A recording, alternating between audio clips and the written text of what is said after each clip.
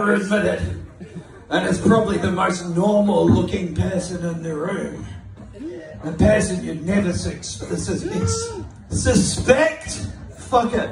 But yeah, the person you'd never suspect is probably your nan or something has a secret dungeon of shame. Yeah, I reckon. And did you guys know that your Bagman used to be a bang back in the day? Apparently.